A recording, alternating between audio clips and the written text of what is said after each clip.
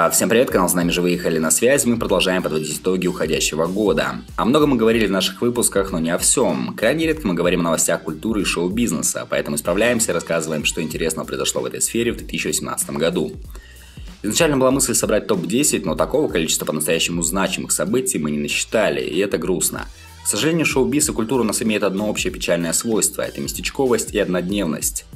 Чаще всего речь идет о зарабатывании денег, а творчество на втором плане, но есть и исключения из правил. О них поговорим, поехали.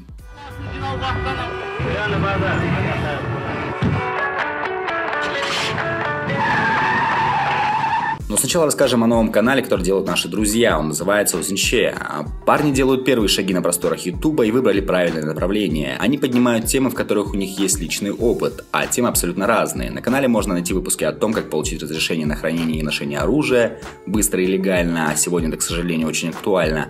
Также один из авторов рассказывает, как можно бросить курить по его личной методике в три шага.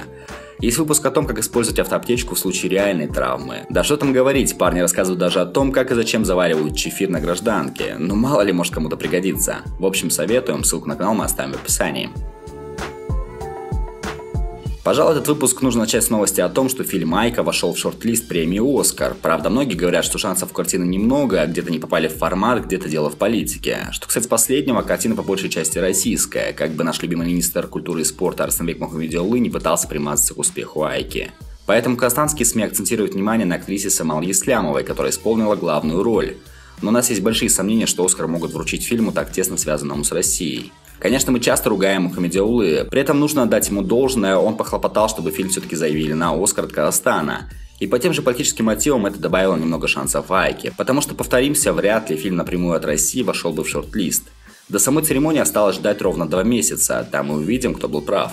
И еще один фильм, о котором хочется поговорить, это биографическая драма «Амре», и к нему очень много вопросов. Да, очень круто, что в Казахстане снимают такие фильмы о гениях прошлых лет, которых в стране было немало, и самородок Амре Кашаубаев, покоривший своим голосом Париж, один из таких.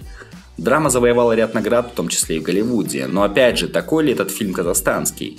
Режиссер-американец Джефф Веспа, абсолютный ноунейм, который до этого снял три короткометражки, написал сценарий к нескольким малоизвестным фильмам. Сценарий писал некий Бенджамин Вандервир, Композитор Дэйв Холден, также какое-то неказахское имя, согласны? Понимаете, да? В фильме о казахской музыке композитор не казахстанец, а самый настоящий американец. Монтаж делала тоже команда из США, но это мелочь. Оператор известный российский сценарист э, Максим Асачи, который снимает кино Федору Бондарчуку. Ну окей, продюсер наш Алдияр Утимуратов. Да-да, сын того самого Утимуратова. Актеры главной роли у наших ребят, но женская роль голливудской звезды Эбби Корниш. Надо понимать, что ее пригласили для громкого имени на афишах. Лично нам кажется, что Казанского в этой картине еще меньше, чем в той же Айке, но само жанровое направление верное, и это хорошо. В случае с Димашем Кудайбергеном ничего едкого мы говорить не будем. Этот талант, слава богу, не потерялся после триумфа на китайском телевидении. Помните, в одном из выпусков мы этого опасались.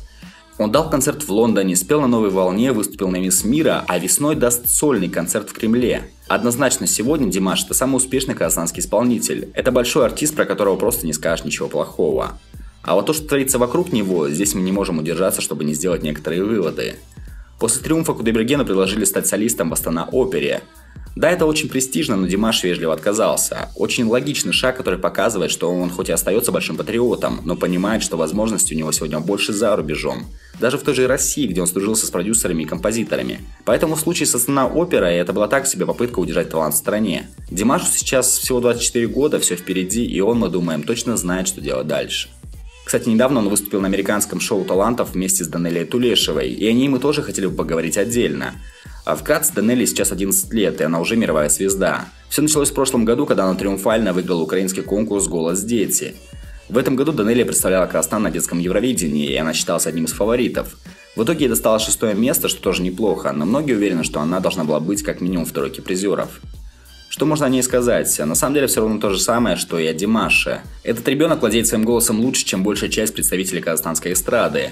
А теперь самое интересное. А кто вспомнит, что еще три года назад она выигрывала у нас детский музыкальный конкурс Аялахана Стана? Почему ее тогда никто не заметил, не поддержал, не разглядел в ней талант? Ответ тоже можно найти в ее биографии.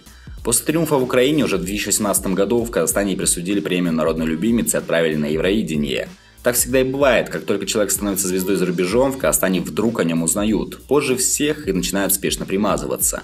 Данелли же мы желаем очень непатриотичных вещей, развивать свой талант вне зависимости от своего места жительства.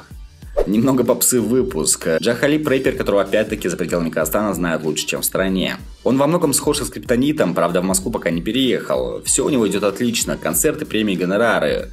Парень делает коммерческую музыку, легкую и яркую, такую, которая играет в автомобилях.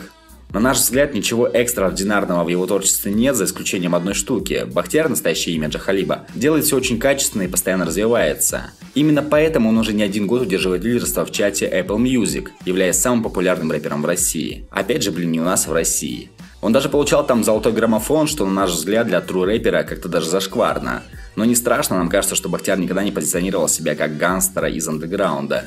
В этом году у него вышел клип на трек «Медина», который снял Асютан Сиитов, а следующий герой выпуска, о котором хотелось бы поговорить.